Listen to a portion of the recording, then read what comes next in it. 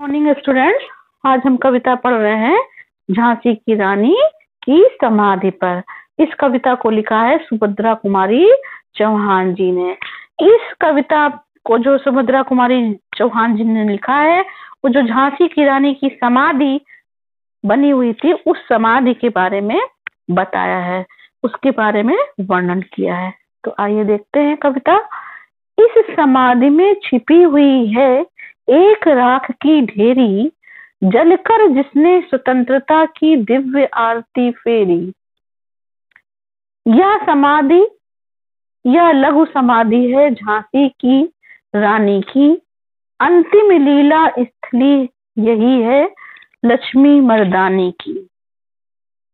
देखिए, समाधि मतलब पहले समझ लीजिए, जो मरने वाला व्यक्ति होता है, मृतक की जो समाधि होती है मृतक का जो है स्थान जो दिया जाता है, वही समाधि कहलाती है। ठीक है, स्मारक में समझ लीजिए, याद के रूप में।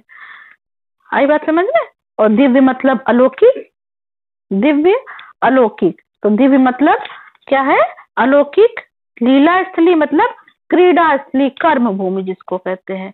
और मर्दानी जिसको कहते हो जिसको वीर पुरुषों जैसा आचरण करने वाली महिला।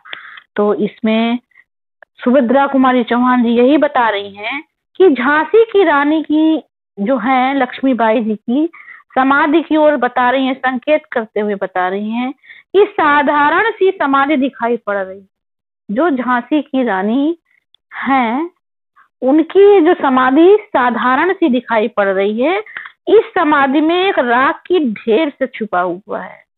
ये जो राख का ढेर छिपा हुआ सा दिखाई दे रहा है वास्तविकता तो ये आग थी जिसने स्वयं जलकर स्वतंत्रता की दिव्य अलौकिक आरती की है। जो आपको ये साधारण सी राख की ढेर दिखाई दे रही है। वास्तविकता में तो ये एक ज्वाला थी, एक आग थी, जिसने जो है स्वयं जलकर स्वतंत्रता की देवी की अलौकिक आरती की है। आगे कवित्री कह रही हैं कि यह छोटी सी समाधि प्रतीत होती है। ये जो है लघु मतलब छोटी यह छोटी सी समाधि प्रतीत होती है, ये झांसी की रानी की समाधि है। स्त्री होते हुए भी, एक महिला होते हुए भी वीर पुरुषों के समान संघर्ष करने वाली उस रानी लक्ष्मीबाई की अंतिम कर्म स्थली अपनी।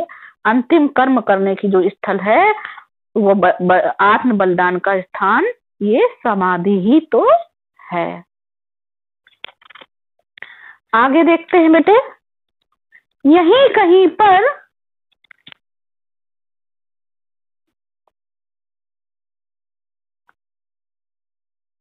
यहीं कहीं पर बिखर गए वह भग्न विजय माला सी। उसके फूल यहाँ संचित हैं, या स्मृतिशाला सी। कहे वार पर वार अंत तक लड़ी वीर बाला सी। आहुत सी गिर चढ़ी चिता पर चमक उठी ज्वाला सी। अब यहाँ पर भग्न मतलब बेटा है, टूटी हुई, संचित मतलब एकत्रित स्मृतिशाला का मतलब है यादगार, और ज्वाला तो आप समझ ही रहे हैं, ज्वाला मतलब अग्नि, है ना? ज्वाला को अग्नि कहा जाता है। तो यहाँ पर बता रहे हैं, कवित्री बता रहे हैं कि जो झांसी की रानी की जो समाधि है, जिस पर कोई विजय माला टूटकर बिखर सी गई है बिखर सी गई है, उसी प्रकार झांसी की जो रानी की अंग कटकर जहाँ बिखरे होंगे, वह स्थान यही कहीं इसी समाधि के आसपास ही रहा होगा। बात समझ रहे हैं आप लोग? कि यहाँ पर कवित्री बता रही हैं कि जो झांसी की रानी के जो जहाँ पर शहीद हुई हैं, वहीं पर जहाँ पर इनकी समाधि बनी हुई है, वहीं पर इनके कहीं अंग कटकर बिखरे होंगे, इस समाधि के आसपास ही। माला के फूलों के समान ही रानी के फूल, यानी रानी के फूल मतलब अस्थियाँ इकट्ठा करके इस समाधि पर रखे गए हैं। जो इसमें माला के फूलों के समान ही जो रानी की अस्थियाँ हैं, शरीर की जो अस्थियाँ हैं, उनको एकत्रित कर कर इस समाधि में रखा गया है। यह रानी की स्मृति सालासी है। इसी स्थान पर रानी लक्ष्मीबाई जी ने शत्रुओं के प्रहार पर प्रहार अर्थात बार बार होने वाले प्रहार को भी सहन किया और वीरांगनाओं के समान, ठीक है? और वीरांगनाओं के समान एक चमकती हुई, एक लड़ती, वीरांगनाओं के समान अपनी चमकती हुई तलवार के साथ लड़ती रही।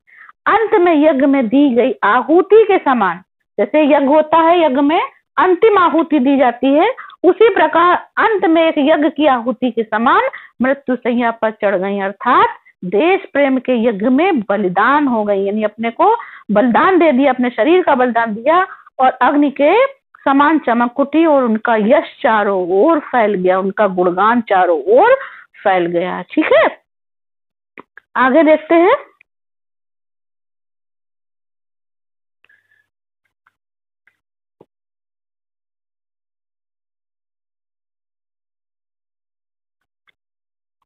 बढ़ जाता है मान वीर का रण में बलि होने से मूल्यवती होती सोने की, भस्म यथा सोने से। रानी से भी अधिक हमें अब यह समाधि है, प्यारी। यहाँ निहित है स्वतंत्रता की आशा की चिंगारी इसमें भी सुंदर समाधियाँ हम जग में है पाते। उनकी गाथा पर निशीत में क्षुद्र जन, जंतु ही गाते। आप बेटे, देखिए जो कवित्री सुभद्रा कुमारी चौहान जी हैं, उन्होंने जो युद्ध में शहीद होने वाले जो वीर होते हैं उनके वीरों के सम्मान के बारे में यहाँ पर बात बताई है। तो मान मतलब समझते ही है सम्मान होता है, रण मतलब युद्ध, भस्म मतलब राख, और निहित मतलब रखी हुई। ठीक है? निहित मतलब रखी हुई। यहाँ पर बता रहे हैं कि झांसी की जो रानी है, की समाधि है, उस पर अपनी भावना को व्यक्त करते हुए कवित्री कह रही हैं। कवित्री कौन? सुभद्रा कुमारी चौहान जी कह रही हैं कि युद्ध में बलिदान होने से वीर का सम्मान बढ़ जाता है। जो युद्ध में अपने शरीर का त्याग कर देता है, अपने को शहीद कर देता है तो उसका सम्मान बढ़ जाता है जिस प्रकार सुवर्ण की भस्म, यानी कि जिस प्रकार एक सोने की भस्म, ठीक है? जिस प्रकार एक सोने की भस्म एक अमूल्य रसायन हो जाती है उसी प्रकार अमूल्य औषधि का काम करती है और सुवर्ण से कई अधिक मूल्यवती होती है। तो कवित्री यहाँ पर कह रही है कि जो रानी की समाधि है, हमें रानी से भी अधिक प्यारी है। क्यों प्यारी है? क्योंकि इस समाज में स्वतंत्रता की आशा की चिंगारी रखी हुई है, ठीक है? क्योंकि इस समाधि पर स्वतंत्रता की चिंगारी रखी हुई है। आ रही बात समझ में? आगे देखते हैं। इसमें भी सुंदर समाधियाँ हम जग में है पाते, उसकी गाथा पर निशीथ में क्षुद्र जंतु ही गाते। अब आगे बोल रहे हैं, यहाँ पे कवित्री जी आगे बता रही हैं कि जो रानी की समाधि है, अन्य की समाधियों के बारे में बताते हुए बोल रही हैं, कह रही हैं, क्या बोल रही हैं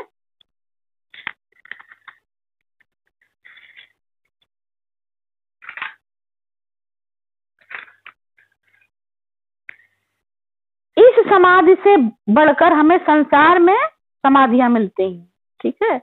अब इसमें झांसी की जो रानी है, उनके बारे में बताते हुए वो बोल रही है कि जो झांसी की रानी है, वो अपने प्राणों को सर्वस्व यशोक, बलिदान देने के बाद जो प्राणों का बलिदान उन्होंने दे दिया है तो जो उनकी समाधि है, हमें रानी की जो समाधि है वो हमें उस समाधि पर क्या है? जो स्वतंत्रता की आशा है, उसकी चिंगारी रखी हुई है। स्वतंत्रता की आशा की चिंगारी रखी हुई है। अब आगे देखते हैं बेटे।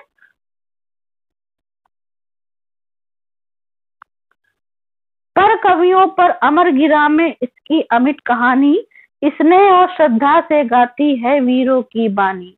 बुंदेले हर बोलो के मुख हमने सुनी कहानी। खूब लड़ी मर्दानी, वह तो झांसी वाली रानी। वह समाधि, यह चिर समाधि है झांसी की रानी की। अंतिम लीला स्थ लीला स्थलीय यही है लक्ष्मी मर्दानी की। ठीक है, यहाँ पर लक्ष्मी मर्दानी के बारे में बताया जा रहा है। लक्ष्मी मर्दानी मतलब झांसी की रानी की बताया जा रहा है। क्या बताया जा रहा है कि जो झांसी की रानी है, इस समाधि से बढ़कर हमें और भी समाधियाँ मिलती हैं। भले ही वे सुंदर है, महान है, विशाल है, परंतु रात्रि के समय, जो रात्रि होती है, रात्रि के समय झींगुर छिपकली उनमें चहल कदमी करके यशोगान करते हैं। यहाँ पर कहना है, किसका रानी लक्ष्मीबाई के बारे में बताया जा रहा है? कि जो झांसी की रानी की समाधि है, उस समाधि के बारे में बताया था कि बहुत सी ऐसी समाधियाँ बनी हुई हैं, जो बहुत बड़ी बड़ी हैं, विशाल है, सुंदर है, महान है, लेकिन उन समाधियों पर रात्रि के समय कौन? झिंगुर।